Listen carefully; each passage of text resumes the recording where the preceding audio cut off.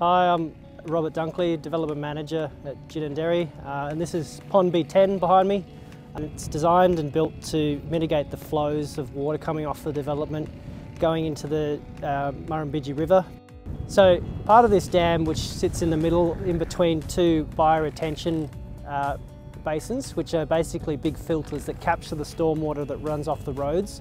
Uh, the water goes into the bioretention basin and goes through a series of sands and filters and bits and pieces and then comes out as clean water which goes further downstream to the Murrumbidgee River. So we're, we're trying to clean the water that comes off our roads and get all the pollutants out of it. This is the current water level right now that you can see behind me, uh, so that's where it'll stay most of the time.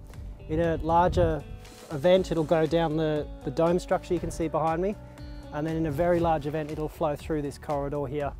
So behind me on the embankment there'll be plants and trees um, coming all the way down to the water's edge.